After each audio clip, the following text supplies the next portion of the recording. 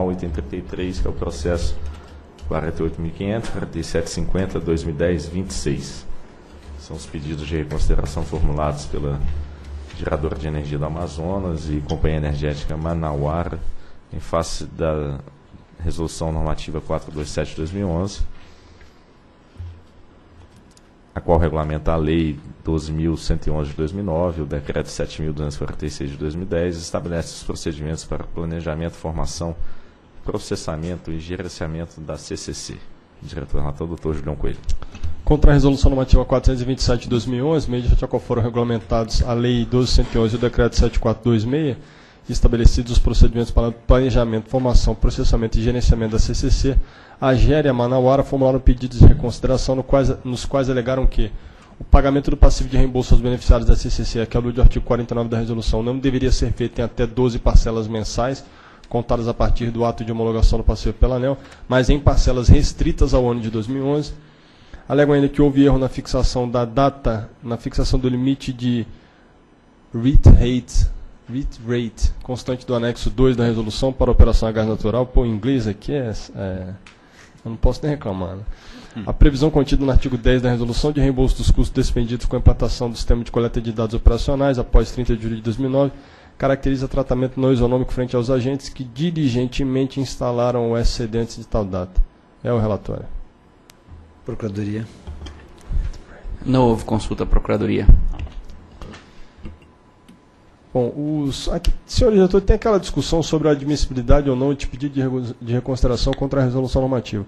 Eu sempre voto por conhecer, então vou continuar fazendo isso. É, mas lembro apenas que existe a discussão sobre saber se eles cabem ou não contra a resolução normativa. Eu não vou voltar à discussão, não. Só destacar o assunto. É, quanto ao argumento de que o parcelamento deveria ser limitado ao ano de 2011, de maneira que não poderia alcançar 12 meses caso esse parcelamento em 12 meses superasse, avançasse sobre 2012, é, a, fica claro na minuta de audiência, na, na audiência pública, que a minuta submetida à audiência pública inicialmente previa que o pagamento se daria em parcelas restritas ao exercício de 2011, mas ao final descartou-se essa alternativa e permitiu-se o pagamento em 12 vezes, ainda que avançasse sobre 2012. É, não há nenhuma ilegalidade nesse ponto, não há nenhuma razão para que agora nós façamos alteração disso. E o que se verifica é que todos os pagamentos já foram promovidos, reforçando o entendimento que não houve nenhum prejuízo aos beneficiários da CCC. Quanto à fixação do limite de hit rate é, e o suposto erro na fixação desse limite, Observa-se que o assunto está em discussão na audiência pública 88 de 2012, com prazo de contribuições até 24 de novembro de 2012. Portanto, o que propõe aqui é que a gente sobreche o julgamento desse item do pedido até que tenhamos um ato normativo final resultante da audiência pública 88 de 2012. Quanto ao argumento de que seria necessário, é, de, quanto à insurgência, quanto aos reembolsos somente dos sistemas instalados após 30 de julho de 2009, isso foi expressamente tratado no voto condutor da Resolução Normativa 427 de 2011, e lá ficou assentado que não há previsão legal de reembolso em data anterior a 30 de julho, junho de 2009.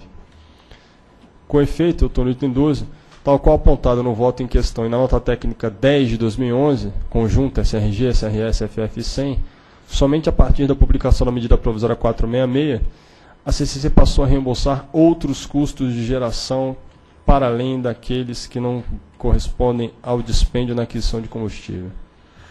É, os agentes que instalaram o SCD após 30 de junho de 2009, em descumprimento ao fixado na Resolução Ativa 163, apesar de terem sido beneficiados pelo reembolso, eles ficam sujeitos à fiscalização da ANEL, inclusive já foram autuados. Portanto, a ANEL atuou nos limites impostos pela legislação e a insurgência da Manauara, no caso concreto, ela volta-se contra a política instituída na 1211, a Lei 1211, e não na regulamentação a cargo da agência.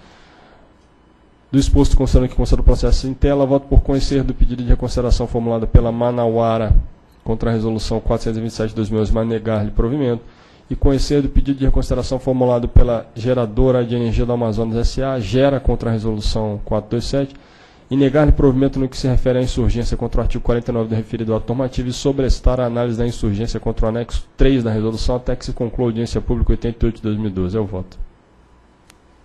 Ok, discussão. Em votação. Voto com o relator. Também voto com o relator. Também voto com o relator. Dito isso, por conhecido o pedido de reconsideração formulado pela Companhia Energética Manauara contra a resolução 427 de 2011, pa- mas negar-lhe provimento. E também conhecer o pedido de reconsideração formulado pela geradora de energia do Amazonas, a GERA, contra a resolução também 427, negar-lhe provimento que se refere à insurgência contra o artigo 49 referido do ato normativo e sobre estar a análise de insurgência contra o anexo 3 da resolução até que se conclua a audiência pública 88 de 2012.